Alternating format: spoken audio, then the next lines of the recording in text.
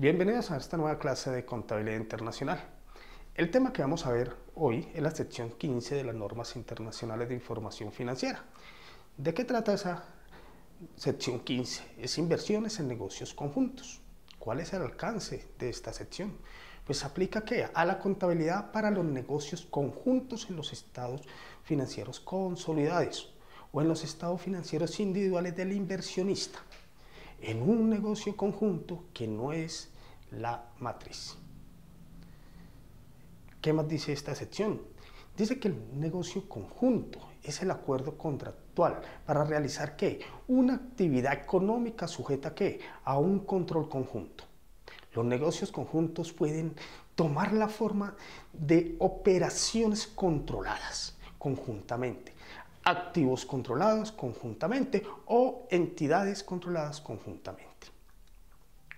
En una operación controlada conjuntamente, el participante reconoce que, los activos que controla y los pasivos y gastos en que incurre, así como su participación en los ingresos ganados. Para los activos, controlados conjuntamente, el participante reconoce su participación en esos activos, en esos pasivos, en esos ingresos y en esos gastos, así como cualquier pasivo y gasto que haya incurrido directamente.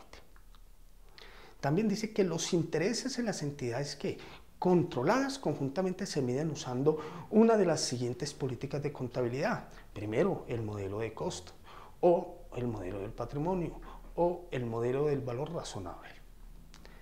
También habla de esta sección de que la entidad que use el modelo del costo tiene que medir que la inversión para la cual haya un precio publicado, usando el modelo del valor razonable. También habla que se proporciona que orientación sobre la contabilidad para las transacciones entre el participante y el negocio que conjunto.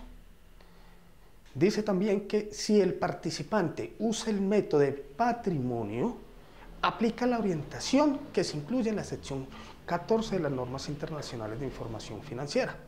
Por último, dice que las inversiones que se midan al valor razonable inicialmente se miden al precio de la transacción y los cambios subsiguientes en el valor razonable se reconocen como una utilidad o pérdida. Gracias.